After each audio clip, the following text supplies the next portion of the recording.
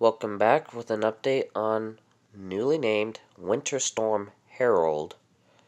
Um, starting with this, here we go.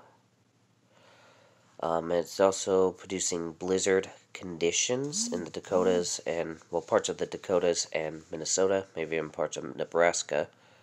Um, but yeah. And then, well, it's going to lead to severe weather in the south for the afternoon. I will cover that as it happens. You can trust me on that one. Same as tomorrow's event in the Mid Atlantic. So from there, accumulations. Um, there's not a lot in of noise accumulations, despite the fact that there is a blizzard going on. Um, but yeah.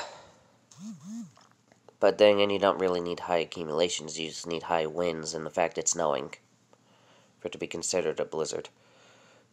It doesn't really need to accumulate at all.